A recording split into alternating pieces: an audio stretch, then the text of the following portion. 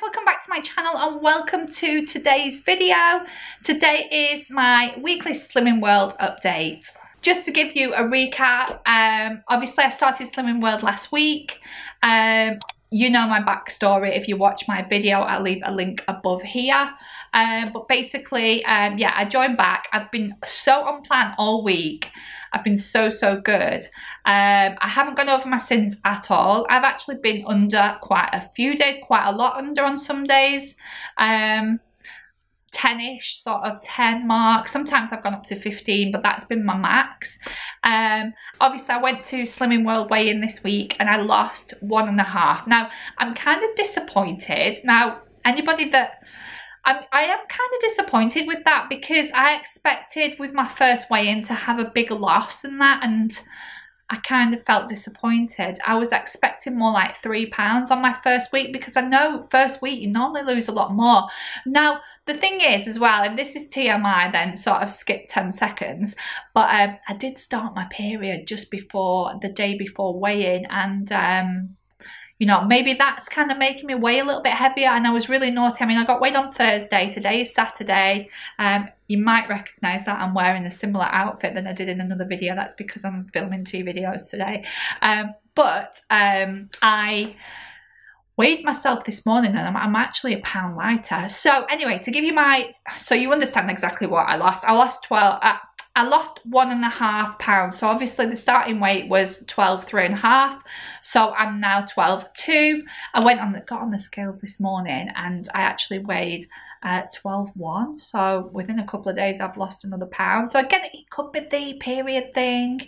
You know, it could be that I'm retaining a little bit of water. I don't, I don't really know, but I think next week I'm going to have a better loss.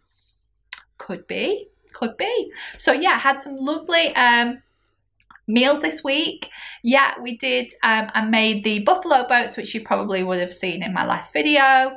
Uh, i made the easy curry which is out of one of the books as well. I can pop a picture of the curry on the screen here that was really easy it was kind it was easy to make but it kind of took about an hour to make so it was a little bit long it's not easy in time wise, it's kind of a bit long, but easy in the amount of ingredients that you need. But it was absolutely delicious.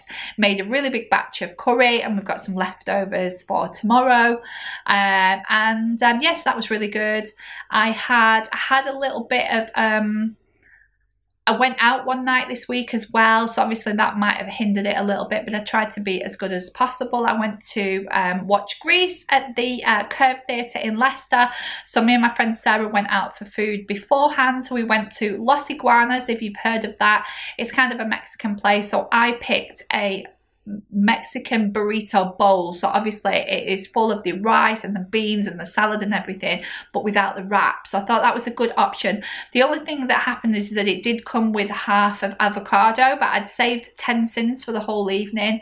So I know um, a full avocado is 14 syns, so half of that is 7 syns. So I used 7 syns and there was probably a little bit of sauce on there as well that I probably needed to um, accommodate as well. And I did have a handful of sweets off the lovely Caroline. So I think think I had four sweets in total. So it was a little bit of a risque evening. Um, not, uh, but yeah, um, if I went over, that was the only time.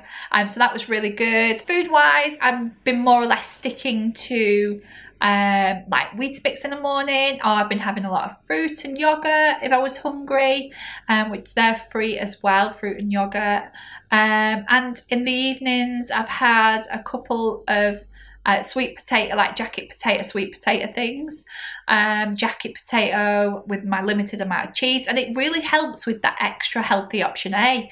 am um, finding now that it's actually a lot easier now that you've got that extra A because sometimes I always wanted that little bit of cheese in the evening and I hadn't got, I'd have to use my syns up because I hadn't got my A left because I use it as the, for the milk option in the morning. But that's really, really handy and I found sometimes I didn't actually need that um, at all. So I thought that was really good. Um, so it's actually been quite a lot easier than I remember it being um, because of that extra healthy option A. So brilliant there.